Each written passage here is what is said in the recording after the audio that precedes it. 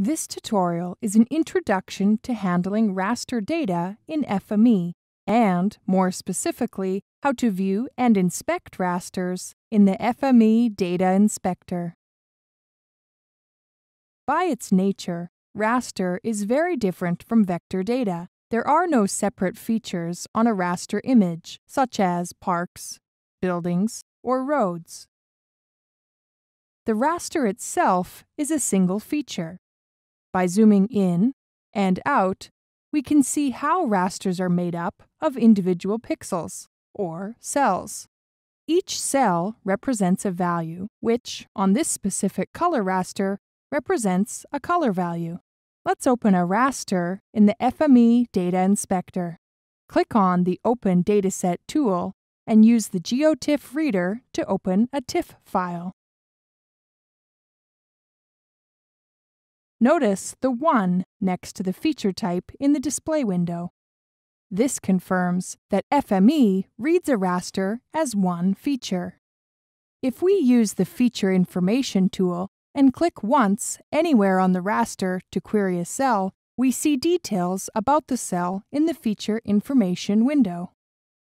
We see the ground location, and, since we have a color raster, we also see the red, green, and blue band color values.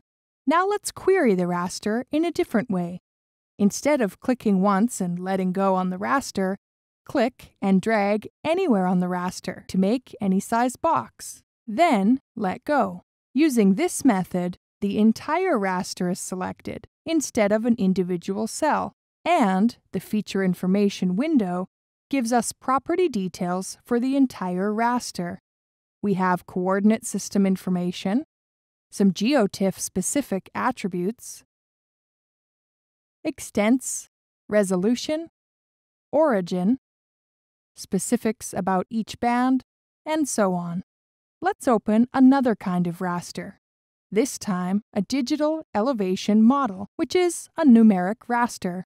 With the Open Dataset tool, select CDED for the source format and select a DEM file.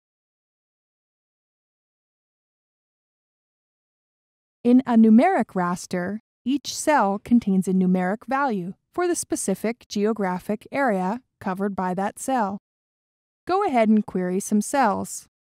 In this case, the numeric value of each cell represents an elevation value.